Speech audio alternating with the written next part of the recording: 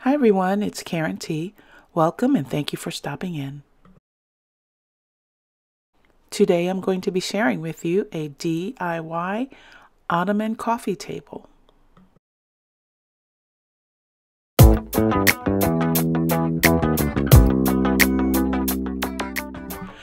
This is our family room. This is a room in which life really happens. We watch movies here, we have Christmas here, we curl up on rainy days here, we have lazy Sundays here. Christmas happens, Super Bowl, it's just the space we really live in, and we want it to be comfortable. We had this ottoman that we were using and it was good for putting your feet up on but if you wanted to sit a drink in front of you or just sit anything in front of you it was a little difficult because the ottoman was very small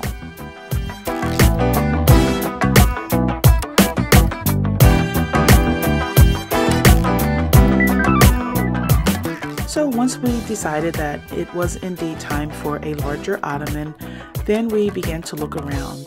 I was not finding what I wanted.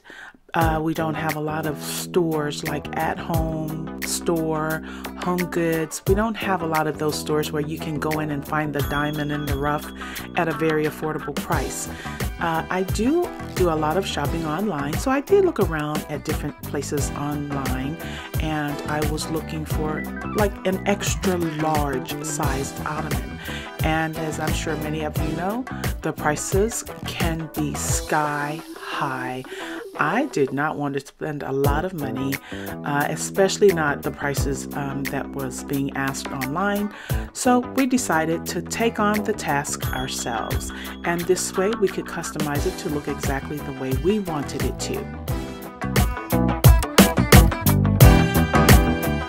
So we laid painter's tape in the size of the ottoman we thought we wanted. We laid that out on the floor and moved around it just to be certain that it wouldn't be too big and that it would also be big enough.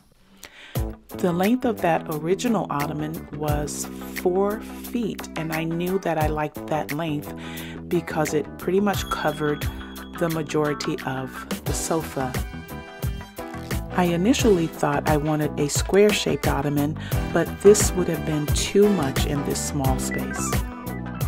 So we headed out to Lowe's and we purchased uh, three uh, composite, pressed composite shelving boards, and we also purchased one or two one by six studs to go around the sides.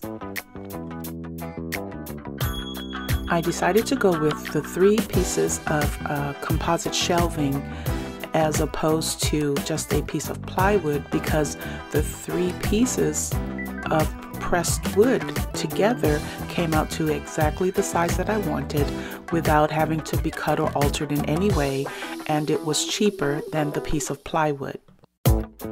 My husband used his Kreg jig to connect the three pieces together and make sure that they were nice and sturdy and they would not flex at all by doing this.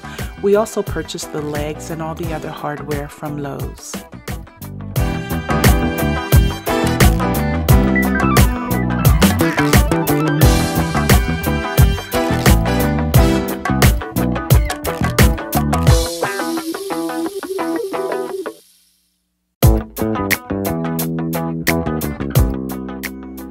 We decided on how far in we wanted the legs to go. So then we measured where we would place the leg brackets so that we would be certain to place them evenly all the way around.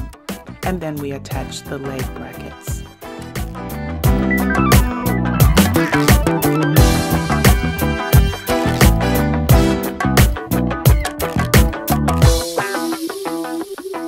The leg brackets in place, we just then marked in the areas where they're going to be screwed in. We just put a little dot there so that if by any chance the bracket moved prior to getting it installed, we'd know where it was supposed to be laid because we already had the holes there uh, marked.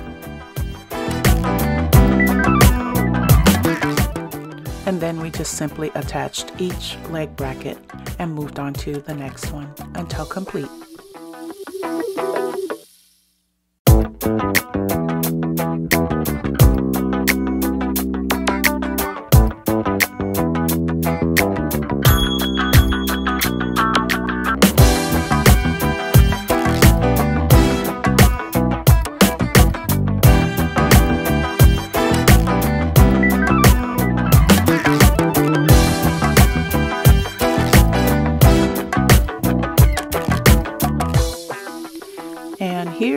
Last leg bracket being installed. And after this, we will be installing the sides, or I guess you could call it maybe the skirting of the ottoman. And these are the one by sixes that my husband has already cut to size. We just added a little glue to them and attached them. He was attempting here to secure it and we found out that his uh, brace here wasn't quite big enough so. And it was okay that his clamp didn't quite fit because we had already planned to also use the Kreg on that so it would be pretty secure. So it's being cragged and glued and it will hold up pretty securely. So here we're just installing it and we've already um, had the holes put in with the Kreg so he can screw it into the top part and the glue is also going to help it to stay secure.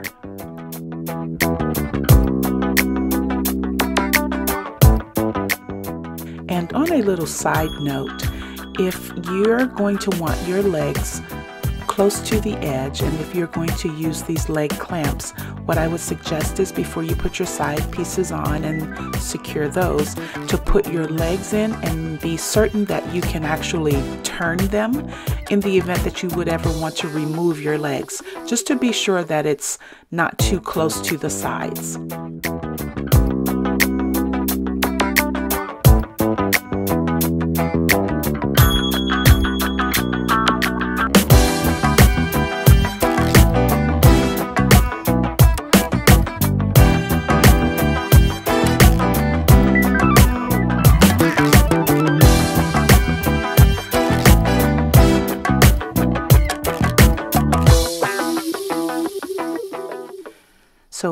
Glue and the Kreg, you're sure to get a nice tight bite and these pieces aren't going anywhere.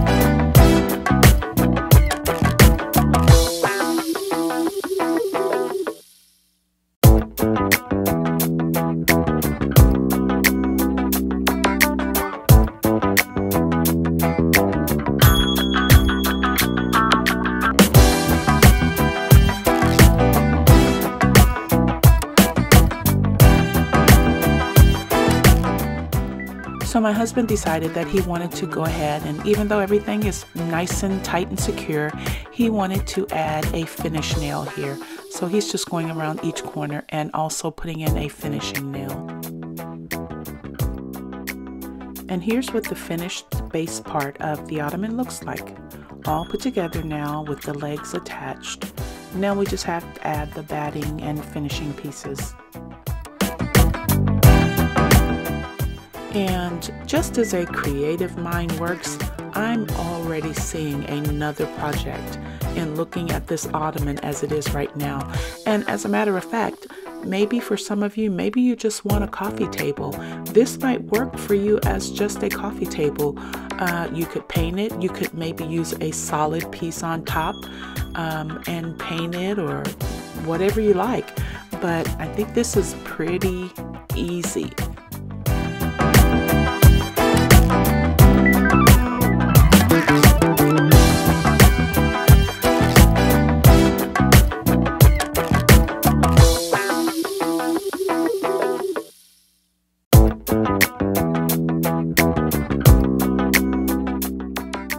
Now that we have the main portion all set and ready to receive the foam and batting, um, which by the way did not come from Lowe's, we purchased this from Walmart.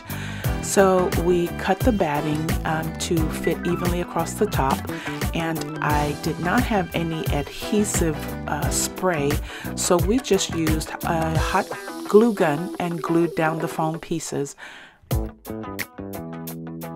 and once we had it all situated into place and made sure all the edges were covered, we were able to apply the first piece. And when we attached the second piece, we were able to just pull the foam a little bit to close up the split there in the middle. I wanted extra plush, so I also added that polyfill on top of the foam and we then covered everything in the cotton batting and stapled that into place.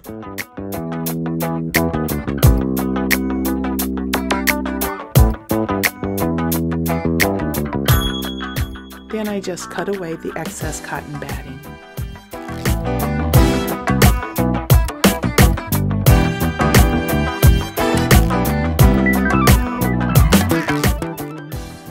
So now that we had the cushioning and batting everything nice and tight, it was time to add the fabric. My husband and I worked together. One of us would pull the fabric while the other held the other side to be certain that it didn't pull. And we just pulled everything nice and tight. So once we had the two opposite sides nice and tight and stapled, we moved on to the other two opposing sides and we pulled those nice and tight and stapled them as well. But before we stapled, I made certain that my corners were going to come out and be a nice sharp edge, just like maybe when you wrap a gift or something. And as I got everything smoothed out on the corners, then we began to staple the corners.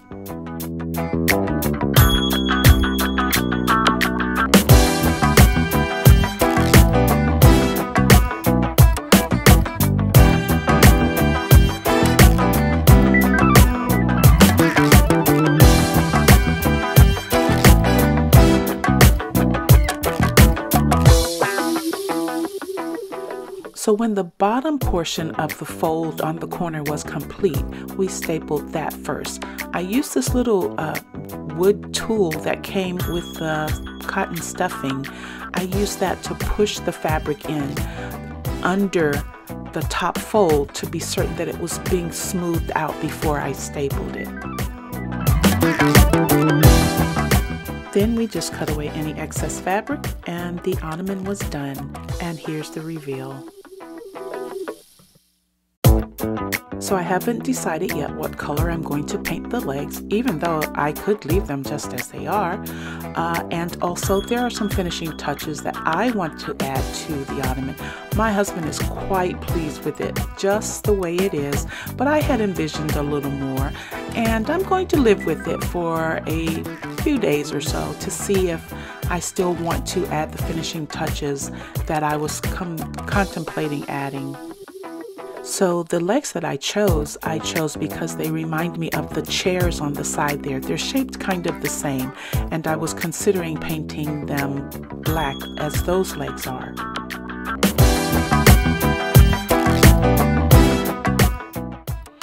But true story, what do you think about how well the ottoman matches those side chairs there?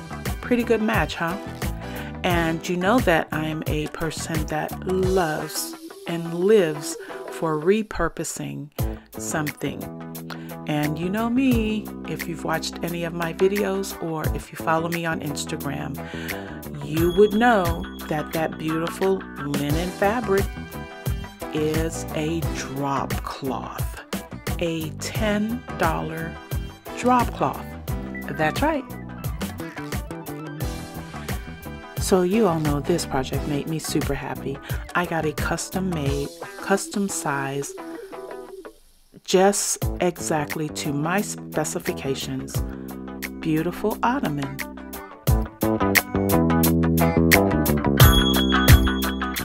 I haven't done it yet, but the plan is to, once some of this rainy weather stops, just to take it outside and use a can of uh, Scotch, Scotchgard um, and just spray it down really well because we will be utilizing it quite a bit and um, just want to make sure it doesn't get too dirty too soon.